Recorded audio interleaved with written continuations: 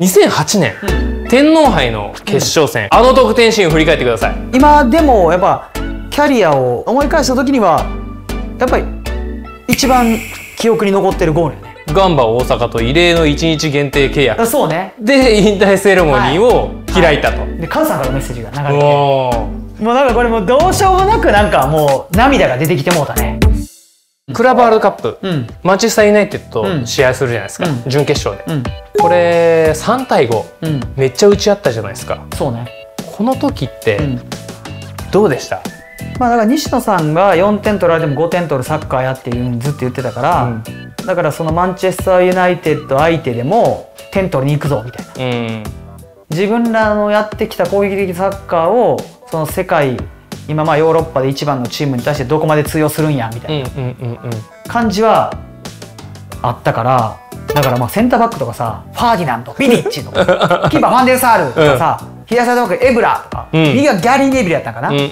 ん、でボランチはまあスコールズ。スコールズ。ギグス。でクリスチャン・ロナウド。ロナウド。テベス。みたいな感じだったから。めっちゃ強かったもん。でも3点取ってでも5点取られてそう。やっぱねヘディングとかコーナーキックとか、うん、こんな止められへんねんなやっぱ、その前のパス回しとかは、うん、ある程度ガンバもできたのよ、うん、でも最後の最後でビディッチ・ファーディナンドがやらせへんからさ、そこはねなんかやっぱもうその世界の壁みたいなやっぱちょっと痛感したよねねなんかすごい選手いました？こう間近で見て。いやまあやっぱクリスチャン・ロナウドはその時にもうね多分バロンドールも取ってたし、うん、もう世界一の選手やってメッシと並んでって言われてたから、うん、どんなもんやねんと思ったらやっぱすごかったね。右も左も蹴れるし、うんうんうん、ヘディングも多分ヘディングもそのその試合は多分ヘディングで決めたんかな、うん、これが世界かと。いやもちろんうまいとか、うん、サッカーがうまいってあるやん、それこそ小野伸二のトラップとか、そういうのの次元じゃないちょっともうこのフィジカルも含めて、うん、そこで戦ったらもう勝てへんなと。うん。でまあそういうこう日本代表の経験を経て、うん、そしてクラブワールドカップも行くじゃないですか。うんうんうん、で2008年、うん、天皇杯の決勝戦、うん、柏レイソル戦ですよ。あったね。これ延長の後半から途中出場ですよね。そうね。で延長後半11分に左足のシュート、うん、1回ブロックされたものをまた蹴り込むわけじゃないですか。そう。あの得点シーンを振り返ってください2008年はね結構もうきついシーズンやったのよね、うん、まあ、2007年はまあナビスコ優勝して、うん、2008年そのちょっとなんか肝機能障害みたいになったのよ、うん、でそれで入院したりとか、うん、なんか体も調子悪かったし、うん、点も取れへんかったし、っていうのでクラブとしてはアジアをチャンピオンになってとかやったけど、うん、個人としては全然満足してなかったから、でも次のシーズンリーグ戦がガンバがあんまり良くなかったから、うん、ACL の出場権がありません、うん、でその出場権を得るためには天皇杯を優勝するしかないです、っていう中の最後の試合やったから、まあ、結構みんな並々ならぬこの思いを持ってその試合に行ってたわけよ、で俺は準決勝はスタメンやったけど、うん、決勝外されて、うん、でもチャンスが来たら出て絶対をゴール決めるっていうのは自分の中であったから、うん、いつやねんみたいな。90分終わってもうた、うんうん、やっと出番かと、まだないんかよと。ちょっとムカついてたんですか？いやまあムカつきはあったよ、うん、選手ってそんなもんや。もちろんもちろんもちろん。それは当然だと。やっぱりそのね自分をやっぱりこう認めてほしいし、うん、使ってほしいし、うん、でも西野さんとはやっぱり普段のコミュニケーションも含めて、うん、ほんまに信頼関係があったから、うんうんうんうん、で延長前半終わった後に「マドー!」って呼ばれて「拾ってこい!」って言われて、延長後半に出て、延長後半だから11分、うん、でまあこれでほぼ優勝確定じゃないですか。そうね。今でもやっぱキャリアを思い返した時には、うん、やっぱり一番記憶に残ってるゴールよね。あでまあその2009年、うん、出場機会になかなかこう恵まれずにそうね。リーグ戦も2得点、うん、でシーズン終了後にチームを離れて、セレッソに移籍するじゃないですか、これきっかけは何だったんですか？シンプルにガンバがもう契約満了と、うん、30になるなった年かな、うん、世代交代やと、うん、まあまだ30、うん、でここからまたまだまだサッカー人生もあるから、まあ、ガンバじゃなくて別のところでっていう感じで契約満了になったから、うん、まあ、次のステージやなと。いうふうになった時にセレッソが最初に声かけてくれてお、まあ、若いチームやと。香川真司。香川真司。清武。清武乾でその当時まあ家長とかもいたから、うん、で山内ホテル、うん、扇原でこの若いやつらをまあまとめてほしいとか経験今までの経験も含めてこいつらに伝えてやってほしいみたいな感じで言われて今までまあどっちかというと自分が好き勝手やっていったけどこの30ぐらいから若手をどう伸ばすかとか、うん、ふうにちょっとずつマインドがなんか変わっていったかもしれないこれは選手としていいのかどうかは分からへんけど。うん。セレッソってなんでそんなにうまく若い選手たち育てられるんですか？若い選手たちをやっぱ使うっていうのもそうやし、うん、その若い選手たちをのびのびやれる環境やっぱ上の選手たちがそんなにあのうるさく言わへんし、うん、上の選手たちに気を使ってるっていうその環境も歴史もあんまないから、うん、でレビーとかもシンジとか乾とか清とかにももうお前らはシーズン10点以上決めなあかんとか明確な結構その数字の設定とか出してたりとかしたから、うん、で、まあ、2013年にサガン鳥栖に移籍するじゃないですか、うん、で2015年に大宮アルディージャ、うん、2018年に FC 琉球、これ現役時代に全部で7チームですか？7チームね。新天地でこう自分のこう居場所をこう探していったり、あとは求められていくじゃないですか、ここで活躍するために何か必要なことって共通して言えることってあります？まあ、若いうちはもう自分が結果出して、うん、もうプレーで認めてもらうしかない、うん、でも30超えたあたりからは、うん、やっぱそのチームとかそのクラブとかにどう適応していって、その中でどう必要とされるかっていうのは必要かなと思う。結果とかプレーはもちろんのこと、うん、30ぐらいからそのプラスは結構求められるようになるね。だからサガントス行った時も J1 でちょっと調子悪かったの、うん、で呼ばれてとその選手たちとパッてやった時にチーム全体でまとまって戦うんやみたいなメンタリティーがもうみんなにもう植え付けられてたから、うん、これはうまいこと言ったら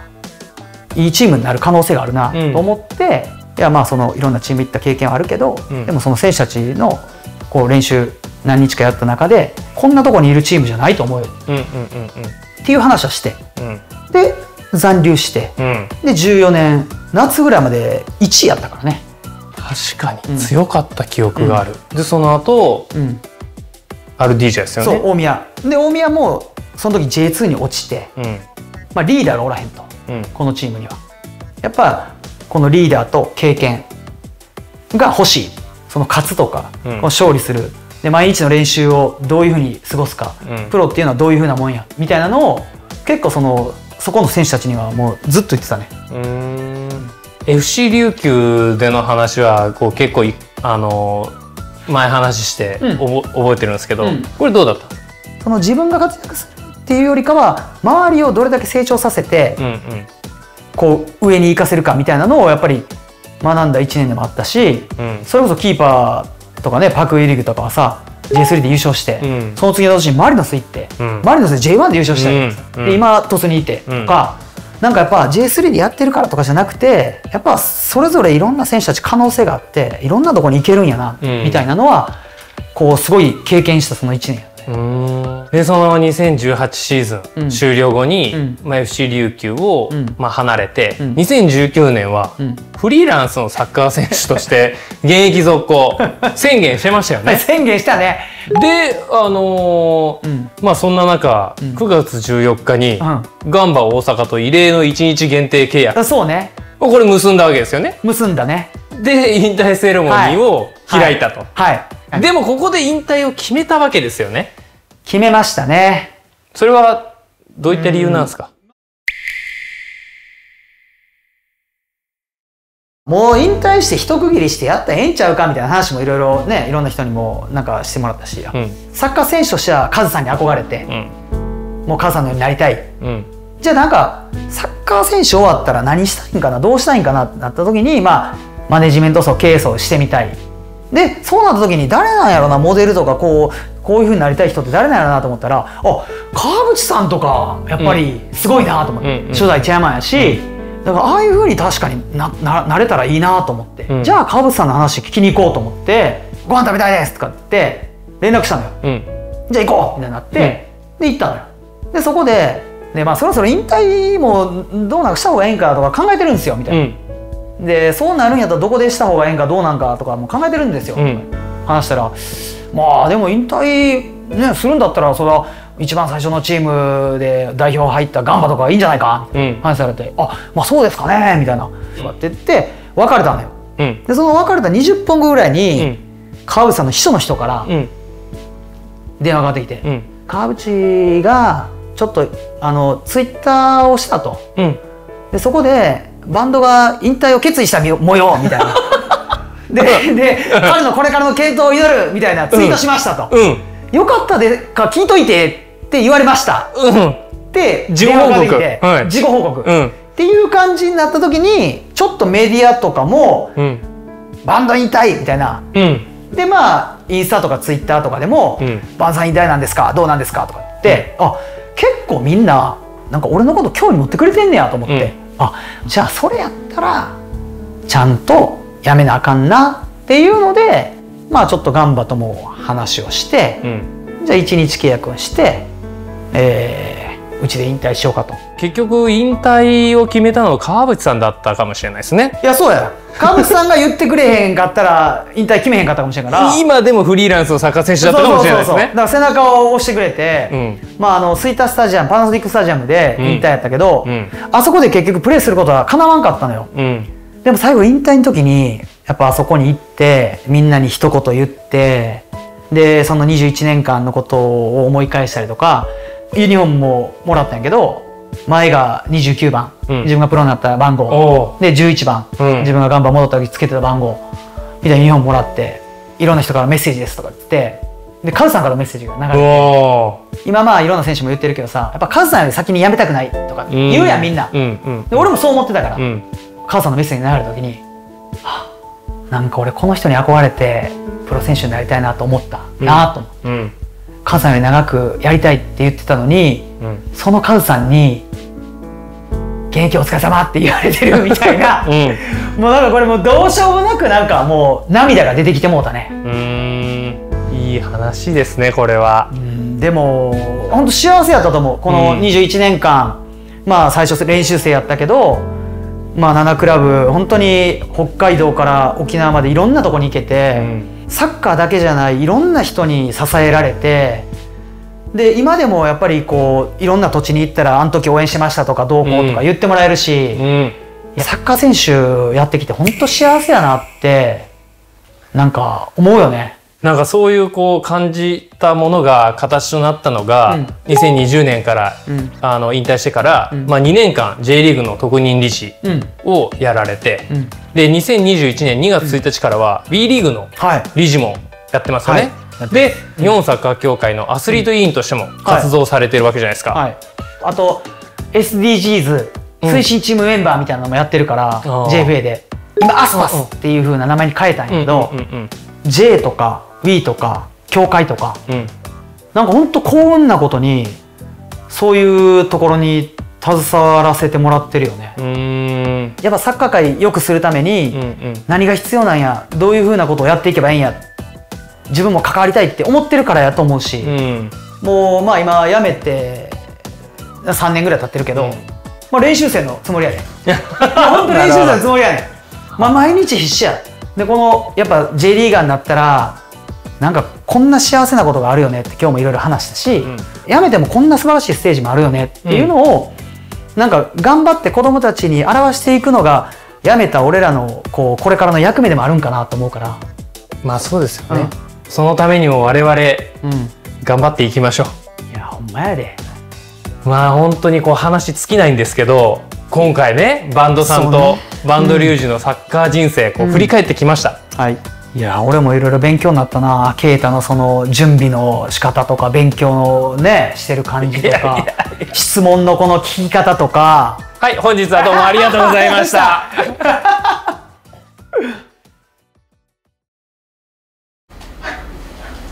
疲れ様でした。お疲れ様でした。いやめちゃくちゃ面白かったですね。めちゃくちゃ面白くてもう時間をね1時間以上オーバーしてますから。でもねばんちゃんと話してるとポジティブになるよね。なんかプロ入りの話の時とかも、うん、プロになれるチャンスがあることが嬉しいみたいな、うん、ポジティブでした、うん、だからその与えられた環境でね選択したのは自分なわけでしょ？じゃあそこを嘆くのではなくてそこからどう改善していくのかとかどうやったらその自分の夢に少しでも近づけるのか。やっぱその今ここに入れることに感謝してどうそれを自分でね表現していくのかっていう。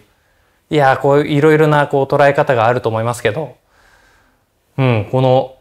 バンドさんの話もね、まあ、多くの、まあ、学び、えー、気づきみたいなものが皆さんにとってもあったんじゃないかなと思います。お疲れ様でした。お疲れ様でした